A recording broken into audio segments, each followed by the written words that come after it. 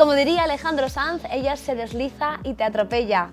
Quiero dar la bienvenida una vez más a mi terrorista favorita, Victoria Martín. Hola, preciosa. ¿Qué tal? Me gusta mucho esa referencia de Alejandro Sanz.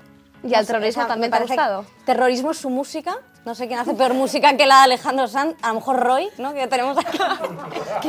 Así empezamos segunda Que temporada. no, que ya tengo otro programa en el que me meto con él. Si nos llevamos súper bien, somos mazo de amigos. Lo que pasa que, bueno, siempre me gusta darle un poquito de tal. Es que vengo con unas taquicardias que flipas, porque eh, te lo juro, eso es en serio, ¿eh? que me he comprado una cosa que recomendaban influencers, ¿vale? Vale. Que era una cosa como de colágeno para la piel y para el envejecimiento y efectivamente me va a funcionar porque como la voy a, voy a doblar servilleta pronto, más envejecimiento no va a haber. O sea, eh, te lo juro por Dios que te puedes imaginar, esas pastillas sois unas falsas, falsas. O ¿Te sea, estás tomando unas pastillas de colágeno? me estoy dando una cosa que recomendaban como varias. Que, a ver, cuando muchas lo hacen a la vez, huélete el pastel. Pero yo al final, encima especialista, pues me he visto, he probado mi propia medicina y cuán amarga es, de verdad. Increíble. Sí, sí, sí. Increíble. Sí. Además que estoy pasando como momentos, eh, no sé si te- que tengo en la pared, eh, tengo en la pared, eh, ha salido la cara de mi abuelo en la pared de mi casa. Como las caras de Belmes. Sí, pero yo comunicándose pero he visto a mi abuelo. O sea, eh, de repente yo me levanté una mañana, ¿vale? Poco asobinada. Y en la pared de mi habitación vi la cara de. O sea, que había salido la cara de mi abuelo. No es broma, ¿eh? ¿Y es qué en hiciste? serio. ¿La hablaste con él o...? Puede, puede ser que el día anterior, borracha, se me cayese un bote de eh, aceite de coco en la pared. Pero os juro por Dios que es mi abuelo. Esto ya lo contaré más adelante, ¿eh? porque es fuerte. ¿eh? ¿Cuántas Voy a- anécdotas así voy a, dar, mañana? voy a dar, voy a vender tickets a mi casa de Rivas Vacía Madrid para, para que lo vean. Así que nada, bueno, pero vamos a hablar de La sección. ex- la sección. Vamos a hablar ¿Qué de exes, de exes, eh, porque es que eh, os voy a traer unos tips para superar la ruptura de una forma sana y saludable, ¿vale? Muy bien. Eh, lo primero, si os han dejado, niñes, de verdad, tenéis que intentar no echar balones fuera y no agobiar a la gente, porque a lo mejor te han dejado porque es un poco mierdas. Un quiero poco decirte, pesado. Un poco pesado o no has gestionado bien tú tal. Es muy importante que si te han dejado estés bien zen, ¿vale? Eh, hace- hagas queso vegano, pintes mandalas y luego le arruines un poco la vida, ¿sabes? Pero ya más adelante, yo siempre te recomiendo zen. ¿Tú cómo le arruinarías la vida a un que- ex? Victoria. Es que yo he arruinado muchas vidas, ¿eh? Qué va, tía, soy una pringa. ¿Qué voy a arruinar yo? Si no me hace ni caso ni mi madre, en fin. Eh, lo primero que tienes que hacer es dar una exclusiva, ¿ale? De Vale. que lo has dejado. Pero tienes que hacerlo bien, ¿vale? Es importante eh, una exclusiva para cerrar esa ruptura y si hay una persona que suele hacerse unas fotos perfectas, eh, esa fue la maravillosa Alba Carrillo en su reportaje para Ola de hace dos o tres años cuando lo dejó con la sabandija de Feliciano. Eh, podemos ver una foto. Eh, este reportaje es perfecto, la veis, ¿eh? Esa carita de triste ad hoc, que lo puso ad hoc, ¿eh? Eh, mujer rota pero con el pelo perfecto. Es como, tú me has dejado pero los efectos de la queratina no, ¿vale? Eh, Esos que me dicen en el salón de Moncho Moreno. Eh, nunca se fueron esos efectos. Así que es verdad que lo más maravilloso de este reportaje es que hicieron ponerle esas caras que me parecieron maravillosos. Desolada, la palabra desolada, ¿veis? Con la tacita de té. Pero mirad con la tacita de té mirando qué, pensando qué es de mi vida, lágrimas. efectivamente. Y después, mira, por favor, o sea, es que esas caras, es que son maravillosas. O sea, tú imagínate en el reportaje Alba, eh, pon carita triste y ella ahí haciéndolas. Eso es lo que cierra bien una ruptura. Además, recordemos que eh, Alba Carrillo eh, se fue a las Azores y se, se paseó llorando por, toda la, por, toda la- por todas sus vacaciones una, una camiseta que ponía happy. Ponía happy la camiseta, mira, happy, mira qué cara, tiene una cara de happy la pobre, ay, pobrecita. mira. En fin, y ahora vamos con el ejemplo, una exclusiva mal, ¿vale? Que es Mar Torres, la ex de Froilán, que sabes que tengo, eh, que me encanta esa familia porque me codeo con ellos todos La los días. realeza, es que te encanta. Efectivamente, y optó por el camino de mujer renovada y feliz, y miradla aquí, que coño hace haciéndose un selfie en el Hotel Meliá, es en el que hacen simposios de medicina, eh, y haciéndose la digna. Es que esto hasta te lo caza Froilán, que es una persona que se disparó en el pie a sí mismo. Sea que, quiero decirte, esto te caza que, no, que estás mintiendo un poco. Y eh, además, eh, el look este es como un poco de, de alguien, ¿no? sí, de alguien que está inaugurando como una adquisición de una franquicia VIP, o algo así, de VIPs o algo así. Hay que estar triste como Alba, esto no puede ser. Y luego en esta foto hay otra más que, que sale de portada, en esta foto, eh, veis esa cara, que ella tiene una cara de felicidad y lo único que está triste es el perro, ¿vale? Porque está de, com- está de comer bu- embutidos de la empresa de su abuelo hasta el coño. Porque embutidos el pozo contigo, que como es contigo de principio a fin. Pues nada, siempre te queda la mortadela, Mar, Mar Torres.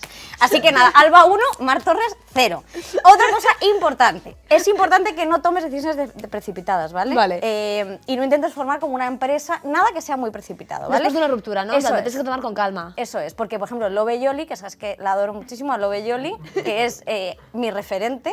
Love Yoli, que lo dejó con su pareja y formó una empresa que se llama Like Collection, que es esta. Bueno, El pongo un trozo del vídeo porque es... una cajita de cartón con el logo de la iCollection. La abrís, ¿vale?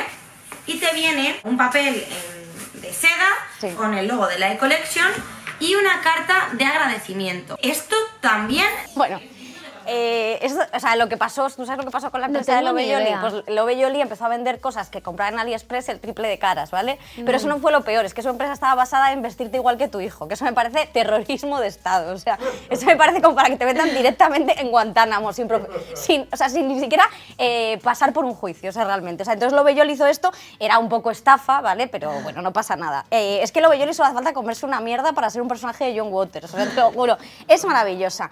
Y luego, otra cosa muy importante, y ya final, y ya acabo, es que no te operes precipitadamente, ¿vale? Esto es muy importante. Después de una ruptura, nada de cirugía. Sí, nada de cirugía y menos en el trastero de la peluquería de tu barrio, ¿vale? Porque ahí te dicen que todo va genial, que dos por uno y luego te hacen un destrozo eh, increíble. Entonces, no tomes esa, esa tal, porque muchos eh, famosos se divorcian y empiezan, ay, que tengo que conseguir trabajo, no sé qué, y se empiezan a operar, por ejemplo, eh, y parece que te han dado un ictus. Entonces, como centro médico lo han cancelado, pues ¿sabes dónde te meten ahora? En ningún sitio. Eh, entonces, eh, es muy importante, por ejemplo, Mickey Rook, ¿sabes quién es Mickey Rook? Sí. Que ahora parece como un conducto esofágico. O sea, que pa- pasó de ser persona, de ser humano, a ser como una masa, una masa heterogénea. Es una cosa muy rara. Y luego también, eh, ¿cómo es esta? La familia Jackson, lo que se hizo la cara en la toalla. Mm, ¿Tú sabes, has visto la tolla? Pobrecillos. Lo que se hizo en la cara, mira, lo que se hizo en la cara, la toalla es peor que lo que, lo que, que lo que pasó en Neverland. Esto es totalmente serio. O sea, que decirte, eso es eh, muy fuerte. Así que cuidadito con la cirugía, ¿vale? Y jamás, por favor, cuando te operes, jamás te hagas un vídeo como hizo Diego Matamoros, eh, el ex o no ex de Carla Barber, porque todavía no sabemos si lo ha dejado o no lo ha dejado, que estos están jugando al despiste. Eh, nos importa una mierda, o sea, ya te lo adelanto, lo hayas dejado o no, ya lo digo.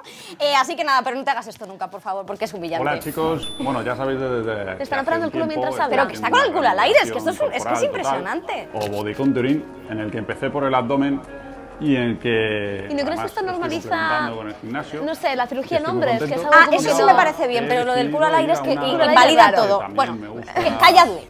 Eh, ya está. Y así que nada, yo luego lo único que te recomiendo ya como final es que te abras Badu porque un clavo saca otro clavo. Que esto es una mentira gordísima, pero tampoco soy yo tu puta terapeuta. Búscate un psicólogo, chico, yo qué sé. ¿Cómo vienes, Victoria, por el amor de Sí, Dios? he venido muy mal. ¿Has llegado? Es que mira, estoy temblando. Es que son las putas pastillas de las influencers. ¡Qué falsa soy, joder! Que me está dando una taquicardia, te lo juro. Antes de que te vayas, Victoria, yo tengo una pregunta para ti. Y es que me ha hecho un pajarito. Yo ya sabía que te codeabas con la nobleza, la reina Federica, todos estos. Pero me ha dicho un pajarito que es que tú misma tienes sangre azul en las venas. Sí, tengo.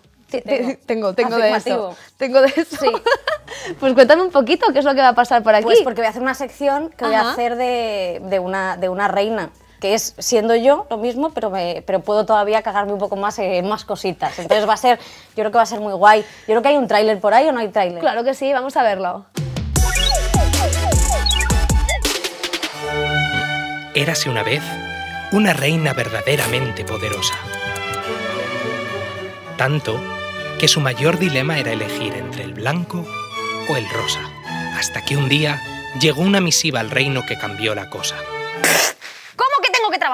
¿Qué es esto? ¿Y qué es esto de feminismo? ¡Dímelo! ¿Qué es? ¿Qué es lo próximo que las mujeres votemos? Os voy a cortar la cabeza y los huevos. Y no me grabes más.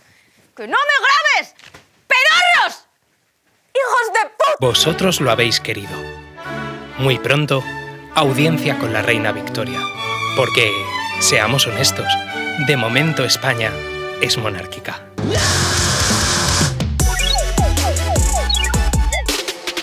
Bueno, Victoria, me encanta, muy De punky. momento. De momento España es monárquica y por muchos años más, ¿eh? Pequeñitos. Me encanta.